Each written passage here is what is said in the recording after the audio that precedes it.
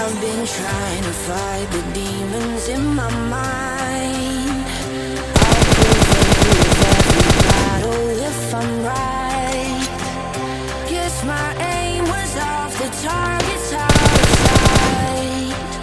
Would I be better if I left it all behind?